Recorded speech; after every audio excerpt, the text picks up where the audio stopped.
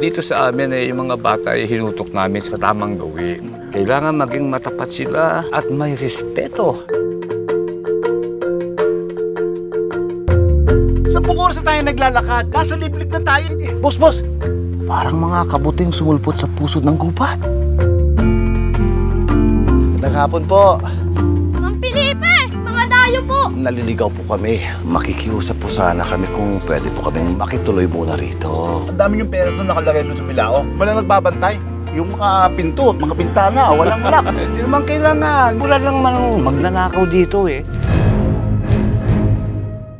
Gusto ko rin magmanman.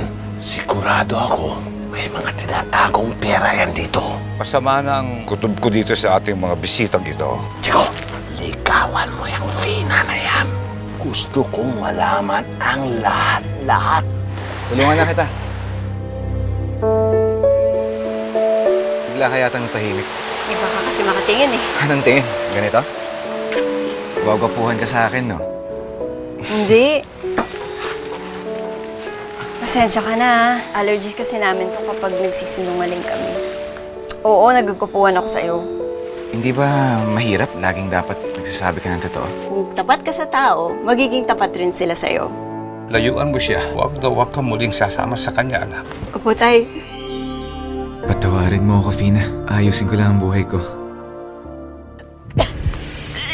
Buntis ka. Kailan ka pa natutong magsinungaling sa akin? Tay, mahal na mahal ko po si Diego. dalawa, sinira niya! Kailangan ko siya puntahan. Ayoko po na lumaki yung anak ko na walang tatay. Gawin mo ang gusto mong gawin. Huwag mo na akong babalikan dito.